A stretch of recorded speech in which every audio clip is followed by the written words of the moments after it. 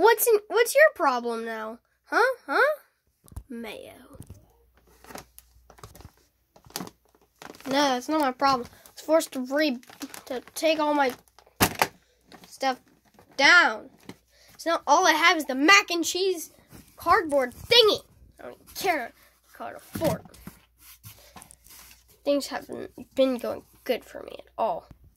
I mean, it's not the worst thing that could happen to you. You could lose a leg, an arm, an eye, a nose. You could lose a lot, but you you only lost a wall. So it can't be that bad. Is the syrup over? For now, because this honey is in the one I can't. Ah! Earthquake. Ah, what is happening? What was that? Oh, that's... Yeah, what was that? Wait, guys, one second. Can I fit under? No. I mean, my head can. Yeah.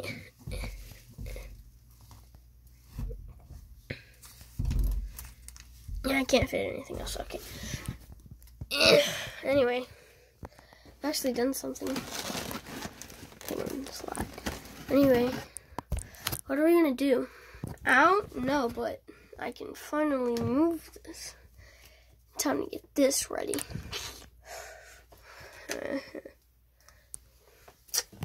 I'm gonna do this. One hour later. It's finished! Yes. No, no, I will lead the closet or pantry area. Did you actually call this a closet? You know what? What do you mean, do you know what?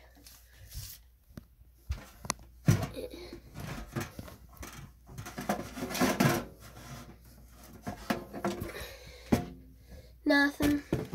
Just grabbing something. It's nothing over. Okay, whatever.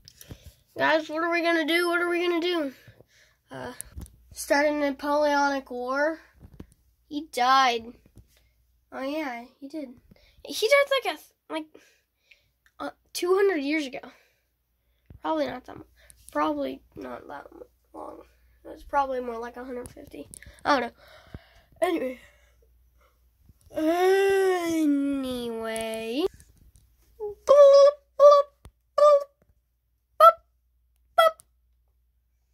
What am I even doing?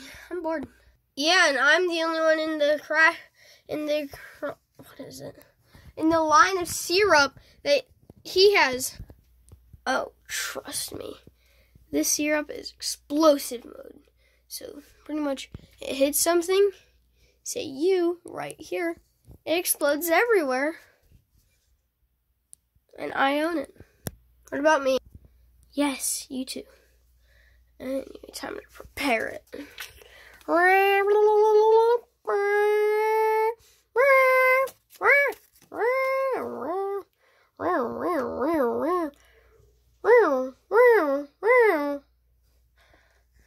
And he's ready in three.